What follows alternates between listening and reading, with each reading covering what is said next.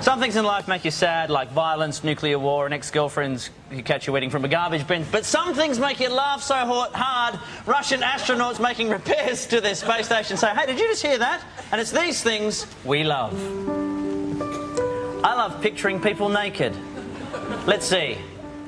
Heather Mills and Kerry Packer. Oh, oh, God, no, that's... Oh, no, that's... Oh, that's awful. That's... Oh, put your leg on. Oh, oh, Kerry, Kerry, are you okay? God, someone get an ambulance! I love Daniel Radcliffe. I've loved him ever since he made eyes at me at the AFI Awards. Call me. I love the little things in life, like Rove. I love that my porn name is Filthy Whore. What are the chances that my cat was called Filthy and I grew up on Whore Street?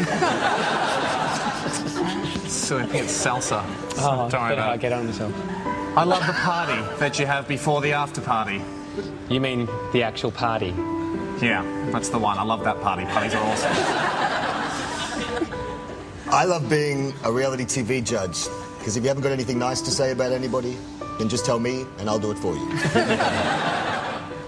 Hey.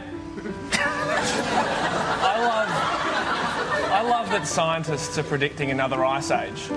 I've already seen the movie, so I know it's going to be a hilarious family adventure.